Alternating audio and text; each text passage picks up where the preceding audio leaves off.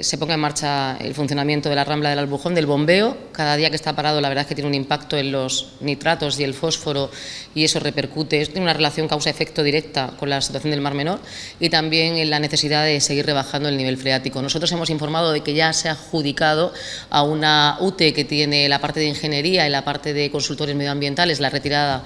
de los fangos y de los secos, en concreto el proyecto, que son en 10 puntos de los nietos, los Urrutias, Punta Brava y Estrella de Mar. Nos ponemos a trabajar, por tanto, ya en ese proyecto